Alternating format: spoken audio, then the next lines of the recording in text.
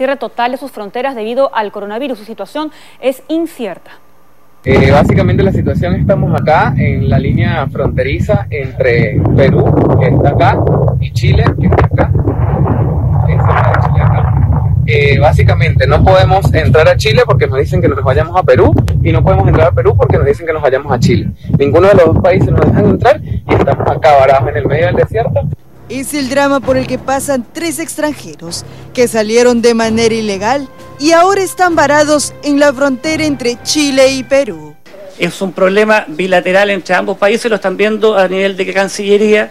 Gonzalo Catriel, de nacionalidad argentina, y Nilson Azuaje Serrano, venezolano, salieron de ilegal de nuestro país, mientras Sergio Orozco González de Colombia, con residencia temporal chilena, intentaba llegar aquí, pero ante el cierre de fronteras quedaron atrapados. Eh, hasta ahora teníamos agüita en una casilla que está acá, que nos daban agua y la policía de Chile dice que ya no nos den más agua.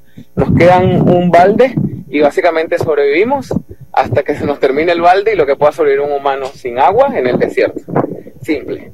¿Qué necesitamos? Salir de Dos días a la intemperie entre ambas fronteras y sin contar con más suministros para vivir, pidieron a las autoridades chilenas ayuda. Necesitamos ayuda humanitaria, somos seres humanos. Nos cortaron el agua.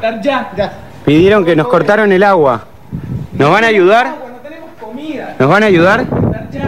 ¿Nos van a dar agua? ¿Nos van a dar agua? ¿Nos van a dar agua? ¿Nos van a dar agua? En una zona completamente desértica que divide Tacna de Arica, se encuentran los tres hombres que no solo cuentan con la documentación necesaria para entrar a estos países, sino que también comparten un temible miedo, el contraer el COVID-19. Dramática la situación de muchos extranjeros en todo el mundo, pero ocupémonos de lo que pasa en nuestro país.